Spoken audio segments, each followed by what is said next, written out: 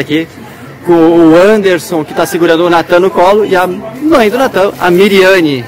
E, Anderson, conta para nós a, essa história linda que tem aqui, cara. Bom, o Natan nasceu dia 20 de abril, está com 20 dias, eu acho nem faz isso 20 dias. A gente estava no, no, colégio da Vica Navarro, com a água pelo pescoço, a gente tava, a criança estava lá em cima, lá, uma, foi resgatada por volta de uma hora, né? Uma hora da madrugada? Uma hora da tarde. Uma hora da tarde? Da tarde? Uma hora da tarde, mais ou menos.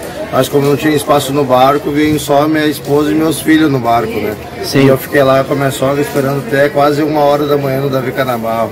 Para ser resgatado? Para ser resgatado. Quando, Sim. quando eu saí do Davi Canabarro tinha 27 pessoas e um grupo de bombeiros ali ajudando no resgate do pessoal que estava ali ainda. Uma equipe dando apoio. Dando apoio. E como é que foi quando tu viu que a sua esposa e a sua família foram resgatados? Qual foi o sentimento que o senhor ah, teve? graças a Deus, né, amigo?